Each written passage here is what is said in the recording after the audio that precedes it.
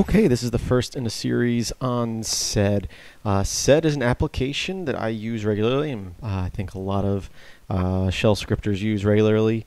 Uh, SED uh, stands for Stream Editor, and basically it allows you to manipulate um, text files, substituting stuff, replacing stuff. There's a lot that can be done with it, um, and uh, a lot of us, like myself included, use it for the very basics. Um, but I thought look a little more into what we normally do and uh, and actually look at it just a little bit more than I've thrown out in the past. Um, before I get started, I want to mention because someone will will complain about this. The title of this video at the end, I have the word bash. Say, it says Linux shell bash. Someone will complain that this has nothing to do with bash, uh, although you use sed within bash. And I'd put that in the title basically because most people who are going to be looking for this video are probably going to be searching for that. And when people come to my site, I want them to be able to search either shell or bash. And I want this video to show up. So that's why I put that in the title for any of my command line videos, even if it's not bash specific. Anyway, here we go. Uh, real quick, I've already created a little text file here called text, and it just has some random stuff I typed in it just for to have me give me something to work with. We got a line that says 10 tiny toes, this is that, 5 funny 0, 1, 2, 3, and tree twice. Okay, so we're going to look over very basic substitution. We'll get into more advanced stuff in the future, but this is uh, some basic things you may want to know. Uh, first off, uh, you can uh, use sed a few different ways. We can cat the file into there. In fact, I'm going to quickly copy. No, no, I'm going to leave that. Okay, you can cat out the text file and pipe it into sed, like so. And then what we can do for substitution, we're going to say substitute forward slash forward slash forward slash, and we're going to give in between the first and second forward slash um, what we want to replace, what string we want to replace, and the second one, what we're going to replace it with. So for an example, I can say T here, and then here I can put an uppercase T because uh, we're going to be replacing the lowercase t's with uppercase t's. If I hit enter at this point, we'll see the lines from the text file, but we have only modified uh, the first t in each line to be capital. You'll notice that the second T and the third T and the other T on that line, it doesn't. So basically at this point, we haven't modified the original file. Uh, we've just displayed it different. So if I uh, cat out the text file again, you can see that nothing has been changed. So we haven't changed anything yet. We're passing it uh, information.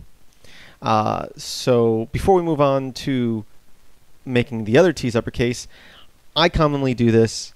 I cat things into it. Um, you, you'll, you'll, I pipe things into it, I should say.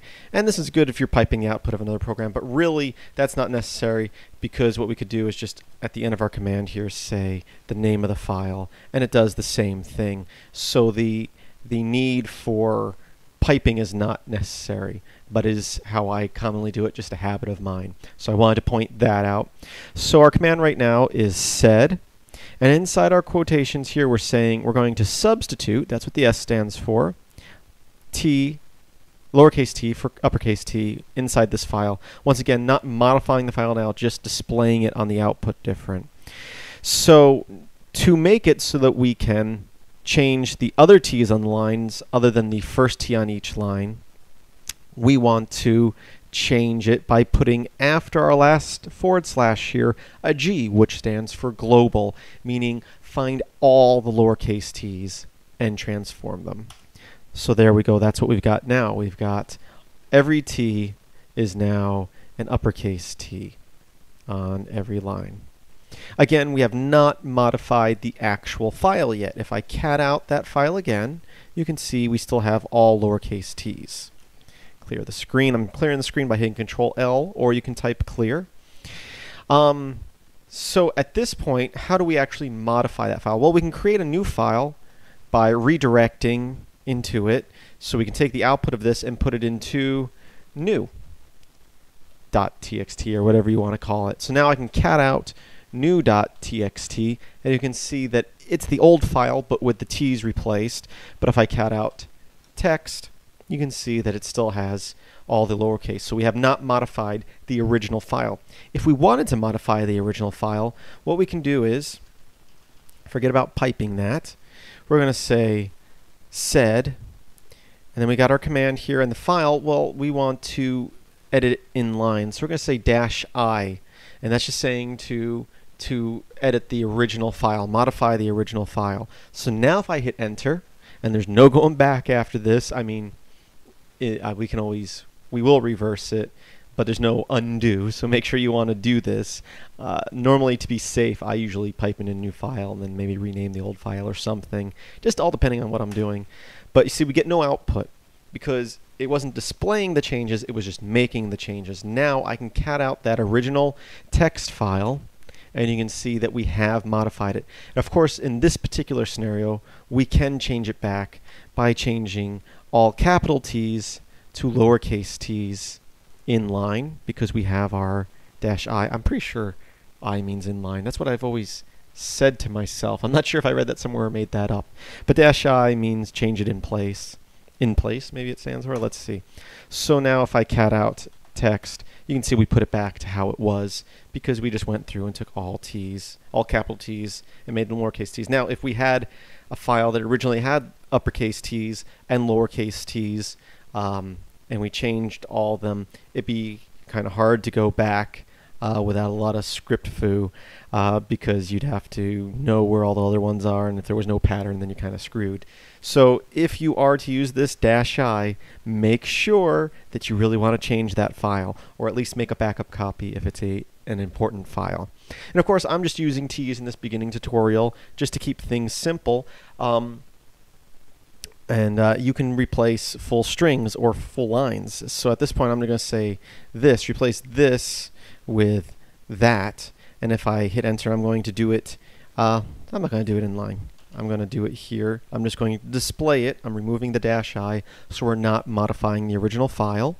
I'm going to hit enter, and there we go. You can see now line 2, which you say this, well, did on that twice now, this is that, now says that is that.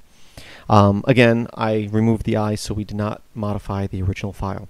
So this is our first tutorial. I know this is very basic. This is stuff that we've done in the past. We're going to get into a little more advanced stuff in coming tutorials but I just wanted to start off with something simple.